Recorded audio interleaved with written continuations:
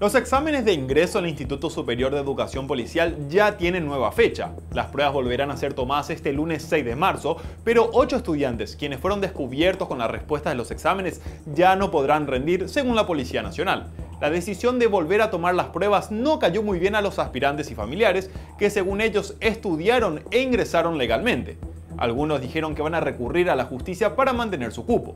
Mientras que aquellos que no quieran continuar y ya compraron los uniformes, la comandancia les devolverá su dinero presentando factura.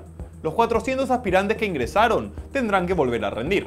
Para La Nación, soy Santiago Sabatiero.